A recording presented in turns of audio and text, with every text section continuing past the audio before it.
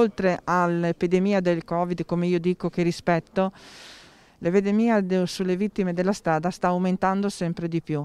Dobbiamo in qualche modo arrivare a chi è dall'alto, che è il governo, e che eh, metta dei fondi o che insieme possa collaborare per aiutare ed evitare altre stragi sulle strade. Spero che questo sia un messaggio istituzionale che arrivi direttamente al Consiglio dei Ministri, direttamente al Premier.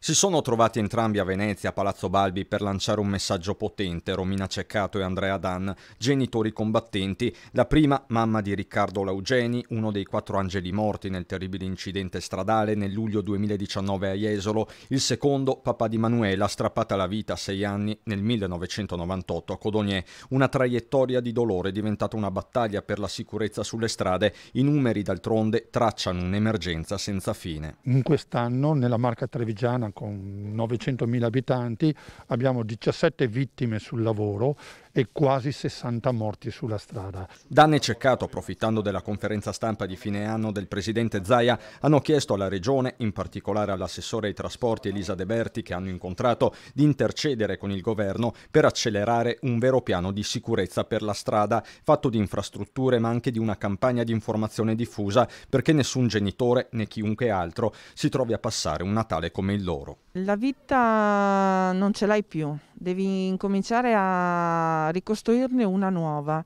per poter sopravvivere e andare avanti.